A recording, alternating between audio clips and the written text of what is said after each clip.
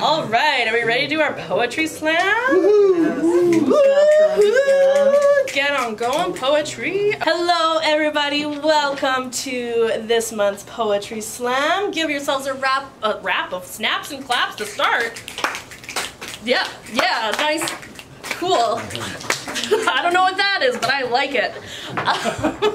I am more than excited, as you can probably tell, for this poetry slam. So we are going to get going with our first person up today is Robert. Come on up. Yeah, awesome. Yeah, my name is Robert and I have uh, two poems to share. This first one is called uh, Bend. So this is called Bend. It goes, we can only bend until we break. We can only take as much as we can take. In a perfect world, we could befriend our foes, but we can't, that's just the way it goes. Many of us wear disguise, then there's a moment of truth to realize. We rack our brains searching for the way out, but it's hard when you are full of doubt. The ghosts of yesterday are still here, they fill our hearts full of fear. To live we must tear down the walls, we have to listen to fate when we hear it call. Destiny will, destiny will show the way out, we don't have to scream and shout. It may take time to find ourselves, one day we will leave our private hell. This one's called uh, Ugly. Yes, it's called Ugly.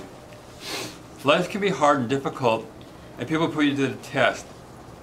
You don't have to be, you don't have to be ugly. You don't have to give in.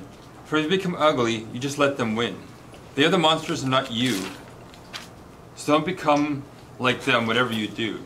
They will, they will bump you as you pass by, but don't let them see you cry. Foolishness, foolishness finds no reward, so leave them to their own discord. Just be yourself and carry on. It's only dark until the dawn. Good words of wisdom. Next on up, we have Cassandra. Come on, give her a hand. She enters the hot seat. My first poem today is called Friendship. Looking back on the friendships I've had, sometimes I'm nostalgic, sometimes I'm sad. Relationships give life meaning, and without them, we are more likely to feel bad. But sometimes they can become rivalries. We can be used or rejected, frozen out or betrayed. Some friendships can be toxic, but not knowing better, we stayed and tried to communicate.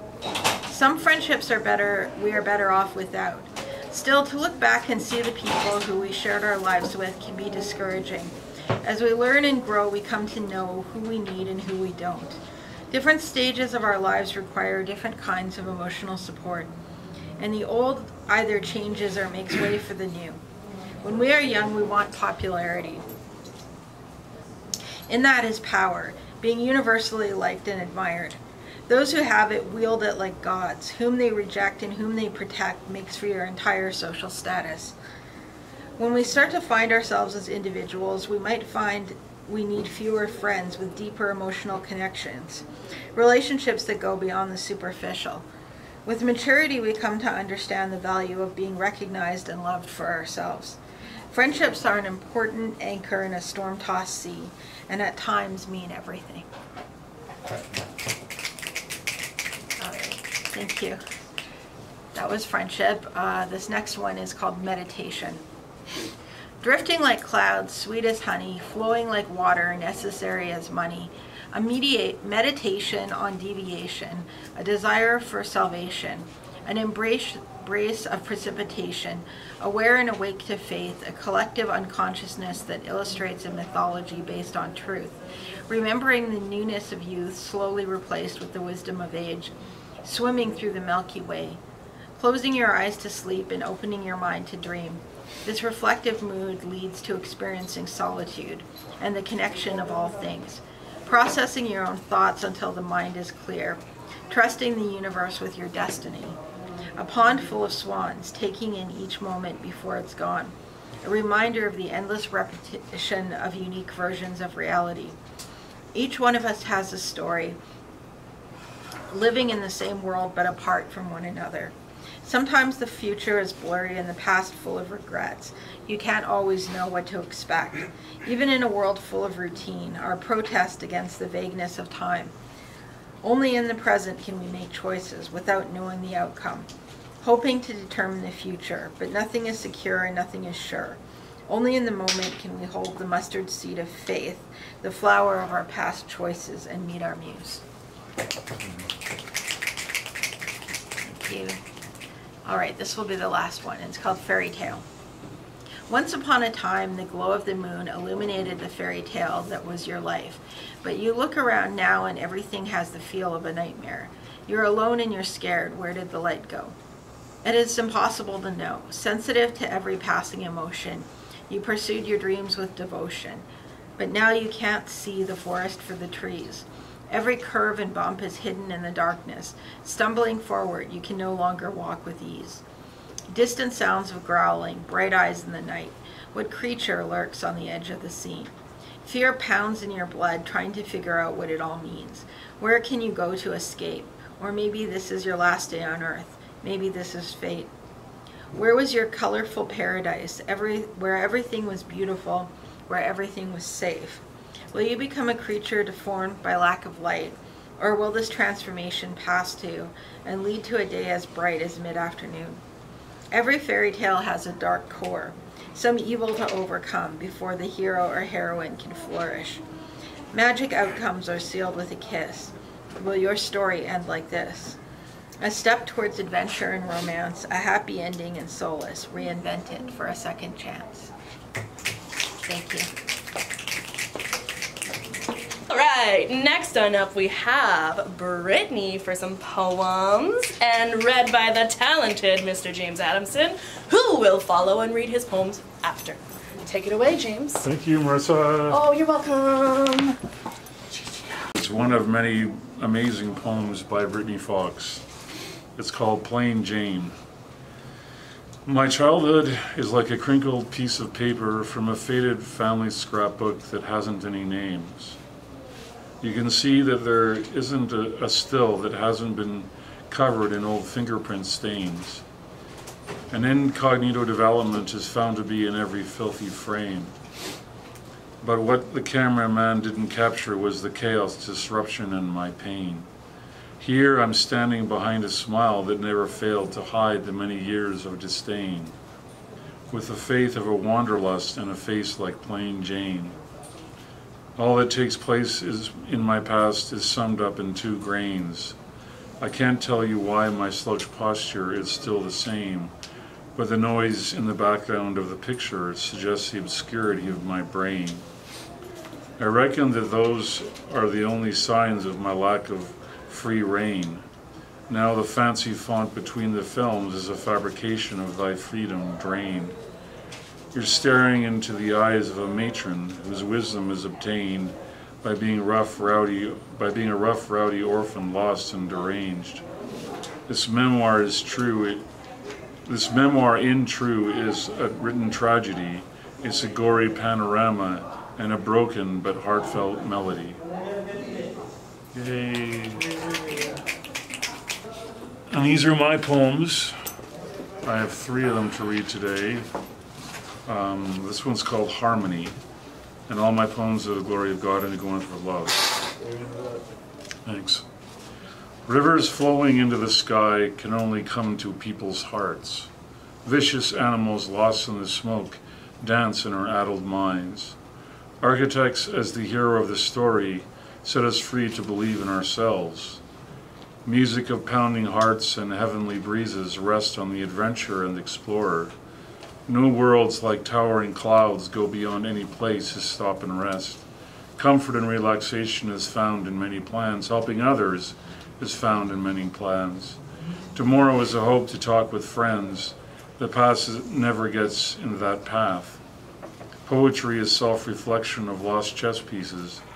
Love is an internal struggle of always careful hands. The truth has many parameters of a world teaching forgiveness.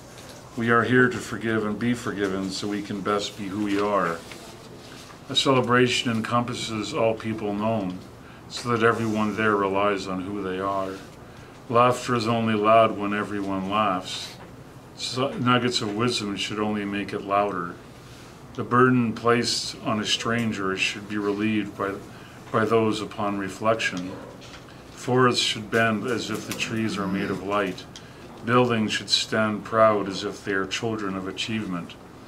A poet should be as humble as his chance to actually say something. As heart should pound with the life of reception. Pain should be a story told to friends. Spirituality will be decided with God's patience. Waking from sleep is an adventure. Testimony is a reconciliation of our control. Ego is the interface between sleep and the waking mind.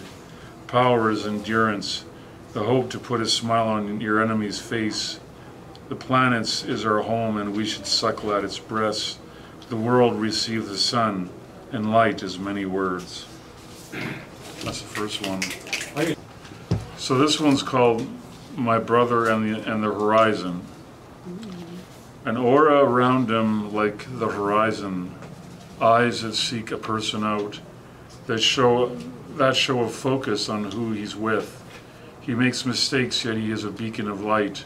His form blends into the trees, his mind spins like a sentinel.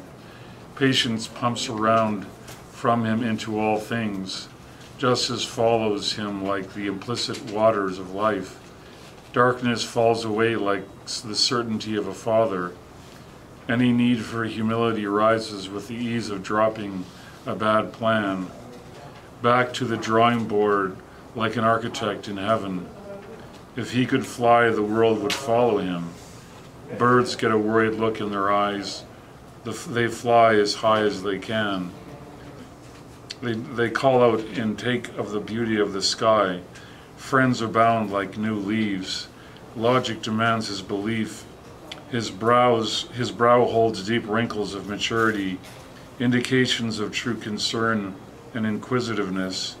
His smile is disarming. His defense is true and immediate. His opinions are willing to bend and modify. The world is a playground he will defend and celebrate.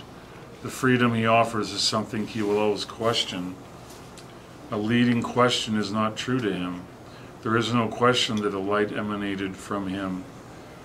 Its, struck, its supple mind emanated from his eyes. The calm and receding expression makes a person smile.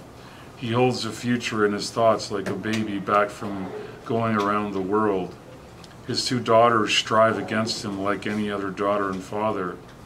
While, while he only frames a way free of the impatience of youth. His wife holds a kind of peace that thrives in that union, while nothing seems withheld or hidden. Dozens of schoolmates flocked around him as a child. An army of friends and colleagues attest to his single-minded enlightenment. Well as with any, any well as with anyone, he requires proof of your reciprocation, a justice that he will pave. What he takes on his shoulders is only visible when he needs to work to restore belief. Love works like seeing the world as the center of the universe and spins poetically, yet goes as slow as texture as, as tectonic plates. All vision of the universe is in heaven. All the ways of seeing beauty are the truth um, and patience of forgiveness. Hummingbirds can vary their use of time. All the means of perception are beyond this world's every opportunity. While a waterfall could reverse its flow and birds could, always, could appear out of nowhere. Touching on the fear of being evil, he was small. He was a small boy astounded by a mere momentary experience. God is in control and love can only go on forever, as can the hugging arms he offers.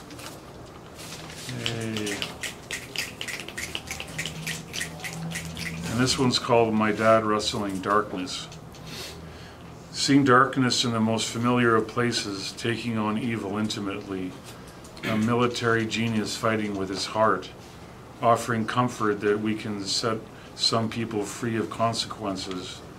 The questions he couldn't answer emboldened him to inquire, to inquire, emboldened him to ignore them. A belief we can set ourselves free of the pain of living. One bit of darkness eliminated and tomorrow is heaven without any need to die. Non-entities blink out of their existence as the only deception. We just have to accept, accept some are ugly, nullify every evil just by accepting they exist. no asking what the world is for, if it is a formative process or not, because learning that some people have no potential of being saved, that we can know who they are, means there is no forging or begetting of souls. If the world is a lie, then we are already who we are. If we are learning to forgive those who don't exist, then why, then why are we here? Why are we suffering if the message isn't one of hope, but of manipulation? A beautiful man with an important immersion who sees the dark and knows its pervasiveness. There is darkness in big and powerful ways, but we pray to forgive, not to manipulate its outcome, or learn that it doesn't actually exist. The darkness is in the ability to forgive, and the destruction. Salvation is not found in is pointing to someone, but in trying to love and spread forgiveness.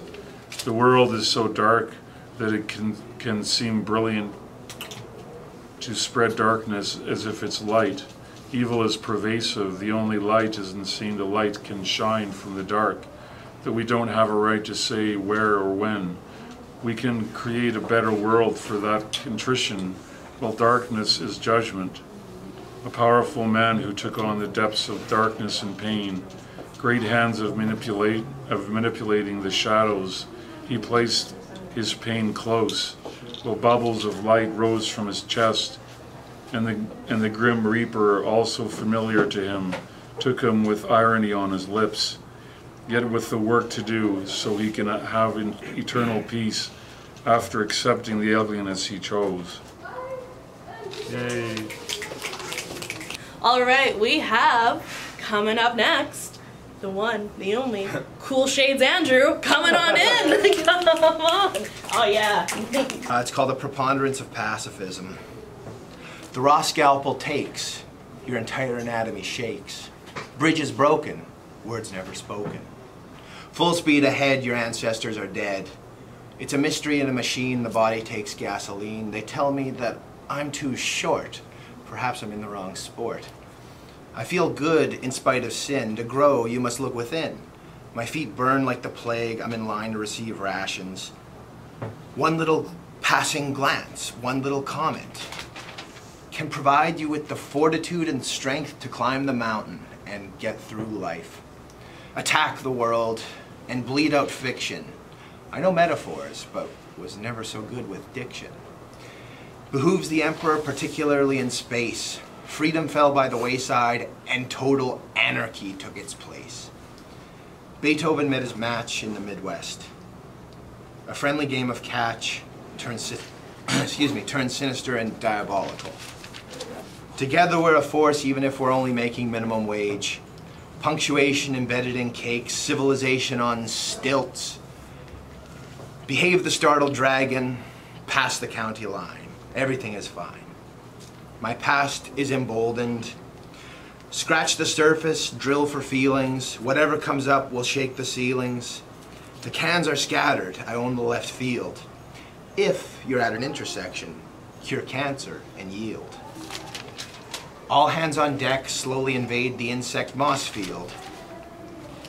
Where to go in the habitual symbolism that invokes fantasy and playtime. The devil and Calvin and Hobbes. In mass graves they serve you tea. It's all a freak show, bending of the knee. Freckles when you close your eyes, the FBI, CIA, and a friendship of spies. Seeing is believing, but not when you're cold. I'd walk like an Egyptian, but not be so bold. In her eyes, I saw astronomy, the energy that contends. Crossing fatal rivers, illness when you're at your weakest. You're intimate and vulnerable. Why can't you believe? A card game, metaphor for destruction, tantrums are thrown. On the plane, in the sea, tell fortunes, tell jokes, just don't tell on me. That was good. Great. Thank you. Well, I think we need a little bonus poem.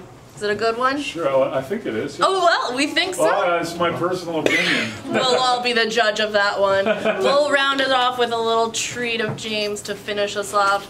Thank you very much. Thank you, Come on in here. Oh, thank you, James. That was cool. Time cloud. What one day would be experienced as 15 minutes seems like five. As the planet passes through a more dense cloud of time, teddy bears falling from children's hands, trees shaking in the wind, rushing to get to bed on time. Stores seem to disappear. Cars on the street are like highways, passing your hand in front of your face like the energy constant has shifted. Dances turn into mysticism, doctors become patients. The aurora borealis offers its greatest shows a month before the passing of the cloud. Cliff divers are on the news. Sensationalism can't keep up. We fight to get ideas on paper. Waking up and three hours earlier we got out of bed. William Shatner seems even more out of touch. Rain has been falling heavier for weeks now. Ideas seem like natural toothpicks. Birds seem to search you out with, with its eyes. Honesty becomes a slip up. Tricks are a man are a main part of telling the truth. Maybe maybe gravity changed too. Our perspective mean, means it's all on the edge of our periphery.